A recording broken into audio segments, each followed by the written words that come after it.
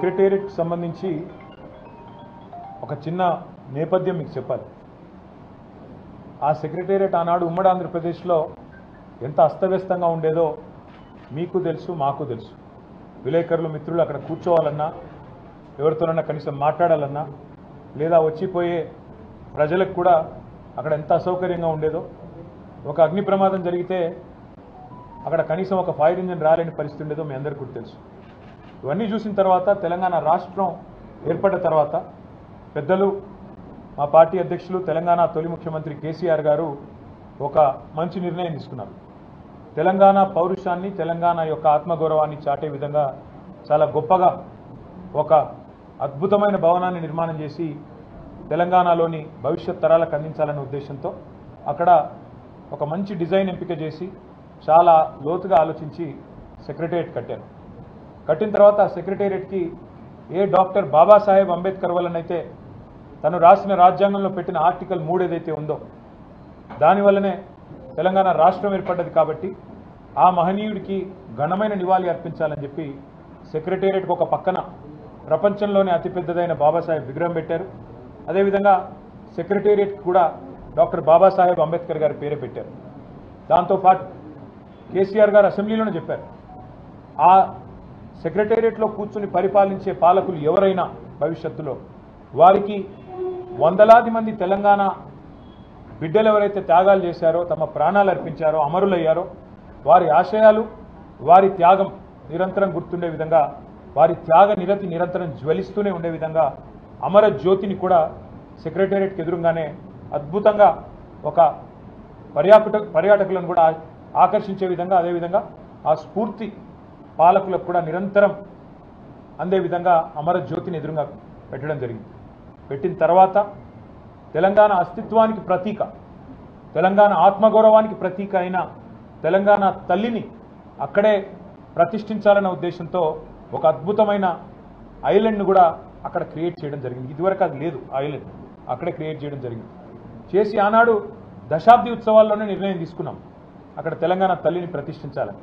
కానీ ఈరోజు కాంగ్రెస్ పార్టీ ఎంత కుసంస్కార పార్టీ అంటే ఆ ముఖ్యమంత్రి జై తెలంగాణ అనడు అంబేద్కర్ విగ్రహానికి దండేయడు నూట ఇరవై ఐదు ఫీట్ల ఎత్తుల్లో ఉండే అంబేద్కర్ విగ్రహాన్ని కనీసం స్వతంత్ర దినోత్సవం నాడు కానీ పద్నాలుగు ఏప్రిల్ నాడు ఆయన జయంతి నాడు కానీ కనీసం అక్కడ లైటింగ్ ఏర్పాటు చేయరు కనీసం పరిశుభ్రత కూడా పాటించరు. అమరజ్యోతి ఇంతవరకు కనీసం పర్యాటకుల కోసం ఓపెన్ కాలేదు. ఇంకా పైపెచ్చు ఇవన్నీ చాలదన్నట్టు ఏ రాజీవ్ గాంధీ గారైతే తెలంగాణ బిడ్డ అంజయ్యను అవమానించారో? ఆ అంజయ్య గారి పేరు పక్కనే ఉండే పార్కుకు పెట్టింది ఆనాడు ప్రభుత్వం. కానీ అంజయ్య గారి పేరు పోయింది అది లుంబిని పార్క్ అయింది. ఇప్పుడు ఏ అంజయ్య గారిని అయితే అవమానించిన వ్యక్తి ఉన్నారో ఆయన విగ్రహాన్ని తెచ్చి మా నెత్తిన రుద్దడం అంటే ఇది ఎంతవరకు న్యాయం అని చెప్పి వాళ్ళు నేను మా పార్టీ తరఫున అడుగుతా ఉన్నాను మేము పదేళ్ళు చాలా సంస్కారవంతంగా వ్యవహారం చేసినాం. రాజీవ్ ఆరోగ్యశ్రీ అనే పథకం ఉంటే పేరు దాని పేరు మార్చలేదు. అట్లే కొనసాగించాం. మా పేరు పెట్టుకోవచ్చు ఇంకో పేరు పెట్టవచ్చు కానీ మార్చలేదు. రాజీవ్ రహదారి అని స్టేట్ హైవే ఉంటే దాని పేరు కూడా మార్చలేదు. రాజీవ్ గాంధీ యూనివర్సిటీ అని ట్రిపుల్ ఐటీ బాసరకు పేరుంటే నాలెడ్జ్ యూనివర్సిటీ అని దాన్ని కూడా మార్చలేదు కొనసాగించినాం. ఉప్పల్లో ఉండే అంతర్జాతీయ స్టేడియంకు రాజీవ్ గాంధీ స్టేడియం అని పేరున్నా దాన్ని కూడా కొనసాగించినాం తప్ప మార్చలేదు. అదే మాదిరిగా అంతర్జాతీయ విమానాశ్రయం పేరు రాజీవ్ గాంధీ అంతర్జాతీయ విమానాశ్రయం ఉన్నా దాన్ని కూడా కొనసాగించినాం తప్ప కుసంస్కారవంతంగా ఆలోచన చేయలేదు. కానీ ఇవాళ బాధతోనైనా చెప్పక తప్పడం లేదు. మీరు తెలంగాణ తల్లిని అవమానించిన తర్వాత తెలంగాణ అస్తిత్వానికి ప్రతీక అయిన మనందరి తల్లి లాంటి తెలంగాణ తల్లిని మీరు అగౌప అగౌరవపరిచిన తర్వాత తప్పకుండా ఈ మాట బాధతోనే చెప్తా ఉన్నాం. రాజీవ్ గాంధీ గారు మరి తెలంగాణకు ఆయనకు సంబంధం ఏందో నాకే తెలియదు.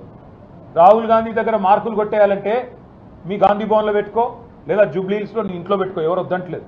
కానీ ఇవాళ తెలంగాణ సెక్రటేరియట్ ముందు రాజీవ్ గాంధీ విగ్రహాన్ని పెట్టి ఏ కాంగ్రెస్ పార్టీ అయితే వందలాది మంది పిల్లల ప్రాణాలు తీసిందో ఆ కాంగ్రెస్ పార్టీ మళ్ళొక్కసారి క్రూర పరిహాసం ఆడే విధంగా తెలంగాణతో తెలంగాణ అస్తిత్వాన్ని తెలంగాణ ఆత్మగౌరవాన్ని దెబ్బతీసే విధంగా వ్యవహారం చేస్తూ ఉన్నారు. మేము తప్పకుండా మాటిస్తా ఉన్న మా తెలంగాణలోని అన్నదమ్ములకి ఆడబిడ్డలకి. మన పోరాటమే అస్తిత్వ పోరాటం ఆత్మగౌరవ పోరాటం. తప్పకుండా మనం మళ్ళీ తిరిగి వస్తాం. అది కాంగ్రెస్ వాళ్ళకు తెలుసు మీకు తెలుసు మాకు తెలుసు. నాలుగేళ్ళలో మళ్ళీ కేసీఆర్ గారి నాయకత్వంలో తిరిగి తెలంగాణలో ప్రభుత్వం కూడా మనది ఏర్పడుతుంది. ఏర్పడ్డ తర్వాత వెంటనే తప్పకుండా రాజీవ్ గాంధీ గారి విగ్రహాన్ని అక్కడి నుంచి సకల మర్యాదలతో తొలగిస్తాం. అక్కడి నుంచి వారు కాంగ్రెస్ వారు ఎక్కడికి కోరుకుంటే అక్కడికి తరలిస్తాం. అక్కడ మాత్రం ఖచ్చితంగా తెలంగాణ తల్లి విగ్రహాన్ని పెడతాం. ఇవాళ కాంగ్రెస్ చేసిన ఈ దుందుడుకు దుర్మార్గ కుసంస్కార పనికి నిరసనగా తప్పకుండా రేపటి రోజున అంతర్జాతీయ విమానాశ్రయం పేరు కూడా మారుస్తాం. ఒక తెలంగాణ ప్రముఖుడి పేరే పెడతాం. ఎందుకంటే ఇవాళ భారతదేశంలో ఏ నగరానికి పోయినా అక్కడ వాళ్ళ ప్రముఖుల పేర్లు ఉంటాయి మీరు బొంబాయికి పోతే ఛత్రపతి శివాజీ. అదేవిధంగా బెంగళూరుకి పోతే కెంపెగౌడ పేరు. ఇట్లా ఎక్కడ పోతే అక్కడ అక్కడ ప్రముఖుల పేర్లు ఉంటాయి కేవలం హైదరాబాద్లో మాత్రమే ఇవాళ రాజీవ్ గాంధీ గారి పేరు. ఇన్ని రోజులు సంస్కారవంతంగా భరించినాం. ఇక భరించే ఓపిక లేదు. ఈ కాంగ్రెస్ చేస్తున్న చిల్లర ప్రయత్నాలు చిల్లర పనులు ఏవైతే ఉన్నాయో దీనికి ధీటుగా నాలుగేళ్ళ తర్వాత సమాధానం చెప్తాము ఇప్పుడు కూడా తెలంగాణ ప్రజల తరఫున తెలంగాణలోని అసువులు బాసిన అమరుల తరఫున నేను కాంగ్రెస్ ప్రభుత్వాన్ని డిమాండ్ చేస్తా ఉన్నా. ఇప్పటికైనా బుద్ధి తెచ్చుకొని ఆ విగ్రహాన్ని అక్కడి నుంచి తరలించండి. కావలసిన విగ్రహాలు ఉన్నాయి. సోమాజిగూడలో రాజీవ్ గాంధీ సర్కిల్ అని పెట్టుకున్నారు మీరు. మేము మార్చలేదు. ఇందిరాగాంధీ విగ్రహాలు బొచ్చడున్నాయి ఇందిరాగాంధీ పేరు మీద బొచ్చడున్నాయి మేము ముట్టుకోలేదు. కానీ మీరు ఇదే ఒరవడి కొనసాగిస్తే తప్పకుండా మరి ఢిల్లీకి గులాంలు మీరు. కానీ మాకు ఆ కర్మ పట్టలేదు.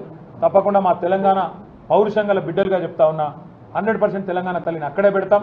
తప్పకుండా మిగతా ఏవైతే మీ జాతీయ నాయకులు అని చెప్పి పెట్టుకున్న పేర్లు ఏవైతున్నాయో వాటిని కూడా మార్చే దిశగా ఆలోచన చేస్తాం.